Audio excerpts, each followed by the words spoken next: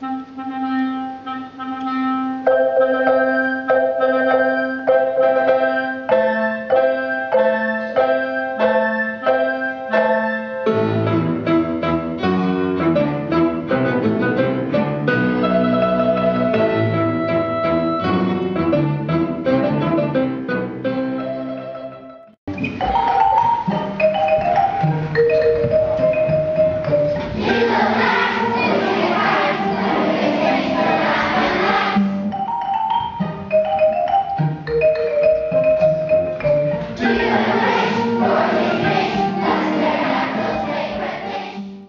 So what's been going on today?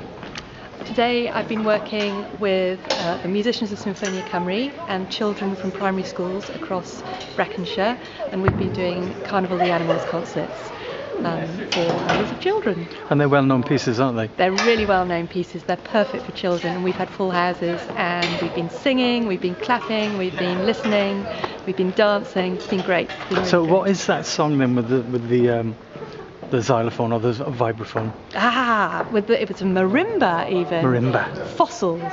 So each um, Carnival of the Animals is made up of lots of different musical portraits, and one of them is fossils.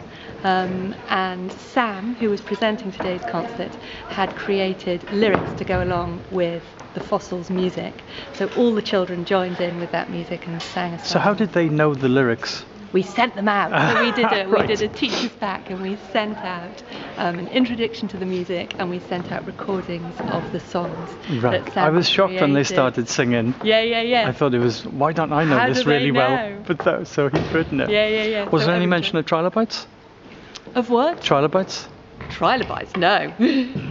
Trilobites? Ammonites? Belemnites? we were talking about dinosaurs. Oh, dinosaurs. Oh, right. That's probably more geology than music. But, yes. um, Yes. so looking forward to the next one. Yeah, really looking forward to the Is this on one. tour now? Yes. So we started here, done two concerts here today, and then tomorrow we're off to Wyeside, and then the next day we're up to Hafren in, in Newtown. Fabulous. What influence do you think music has on children and their development in their life? Oh, I think it's crucial. I think they they love it, and it, it enables them to express emotions. It enables them to think about things, um, and also there's just an amazing repertoire out there that lots of children aren't having any access to at the moment. So the reason that we do these concerts and these projects is both to enable the children to hear some of the great music that's been written, but also to have a go at writing their own music, creating their own songs, and um, getting creative with us.